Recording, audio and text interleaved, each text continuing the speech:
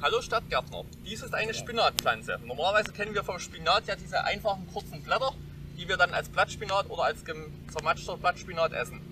Wenn die Spinatpflanze einen gewissen Zeitpunkt im Jahr überschreitet, fängt sie an zu blühen und zu schießen. Da entsteht dieser Schosser und an der Spinatpflanze entsprechend kleinere Blätter.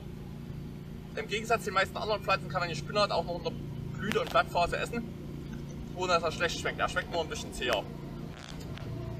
Hier werden aus diesen Blüten werden neue Samenkapseln sich bilden und Spinat ausfallen. Die Samen sind sehr klein.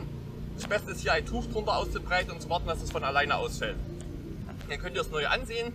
Die Spinatpflanzen gehen normalerweise über einige Zeit danach ein, nachdem sie geblüht haben. Das Einzige, worauf ihr achten müsst, wenn ihr Spinatpflanzen habt, es sind nicht nur die Blätter, die da sind, es gibt dann auch Schnecken, andere Tiere, die das gerne mal auffressen. Und ihr müsst darauf achten, dass sich nicht irgendwelche Unkräuter dazwischen ansammeln. Und worauf ihr achten müsst, wenn die Samen ausfallen in dem Beet, wenn ihr das zulasst, kommen immer wieder neue Spinatpflanzen. Er ist ein relativ gut etablierbares Unkraut. Damit wünsche ich euch viel Spaß mit dem Spinat und wenn ihr ihn früher setzt im Frühjahr erntet, habt ihr viel mehr Spaß damit, als wenn ihr wartet, dass er bis wie jetzt blüht.